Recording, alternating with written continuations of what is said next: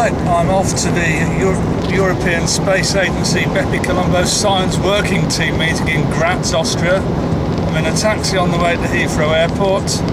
It's going to be a, a longish trip, two flights, then a train and a taxi, or two flights and a longer taxi ride.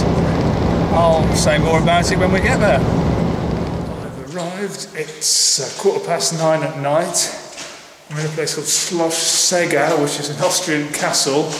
I've just been to my room and I'm going to try and find my way back now to beyond reception, where apparently there is still some food for me to eat. Okay, Dankeschön.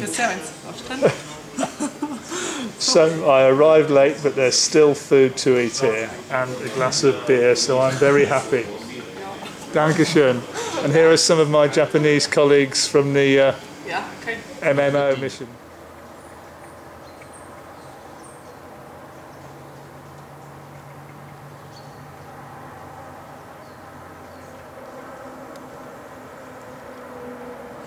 And breakfast. Here's everybody eating. Well, the meeting starts in about uh, 10 minutes, and it's the usual rush to find somewhere where you can sit and uh, plug your laptop in with a cable that's long enough to reach the limited number of power supplies. And then the will be tested in the I'll give you the, detailed schedule uh, in a minute, but um, if you see, Okay, the MMO science operation, uh, that we, at the beginning, don't want to distribute data shares to you, or that we would like to look more into a science-driven planning concept. And for As, this, as Fred said, we haven't done anything yet. Uh, this is what I mean by conjunction. This is MMO, we have MPOs sitting close together. And MMO plus Solo. solo Well, that was uh, quite a long day. We met from nine and finished at five, but then I stayed in the room for chats with people till six thirty.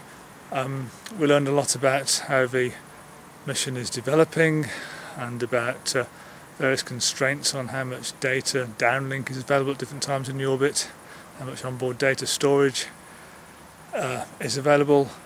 I chaired a session for the Mercury Surface and Composition Working Group, of which I'm the current leader, and we agreed we'd have a meeting probably in Berlin in the spring to uh, work further on how that group will influence the policy, uh, deciding priorities between different instruments operating at different times. So it's been a, a productive day, if if a long day.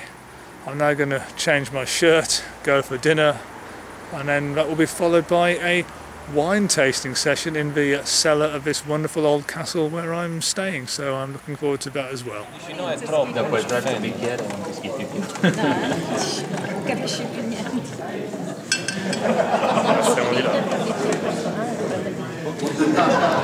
Dall'altro. No, uno, uno, una ora in più. Quello del bicchiere volevo. Io, io, io. Ah, been at a wine tasting in a 300 year old cellar. If this roof gave way, we'd lose the best part of the Bepi Colombo mission because everybody is here. Non mi piacciono. Say hello to the camera. Hello. So now we're going outside to finish our wine beside the fire. So you're you are not speaking by yourself.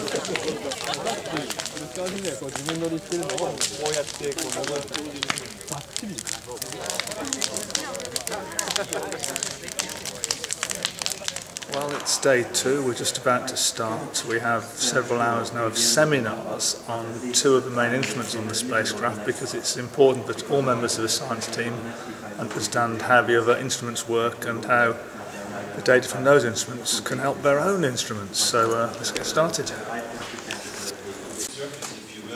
and then ground for go into much more detail. Um, We need to have a whole suite of instruments. We cannot just do with one instrument. And as we've all seen with the MESSENGER data, it's very, very difficult even with two instruments if you really try to get an answer.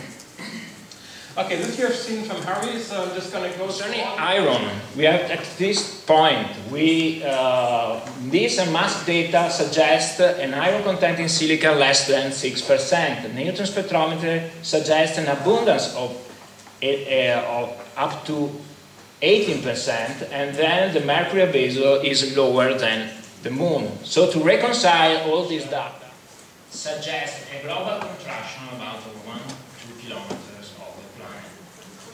But the most important thing of this feature, there are three characteristics important of this feature. Well, the meeting's over. There's the usual uh, kerfuffle about who ordered which taxi to get to the airport, but there's a, a big taxi here that's got room for six people, so everything's going to be fine and we'll all catch our flights on time, won't we, honey? Yeah, yes, we'll do. Bye bye, Senko.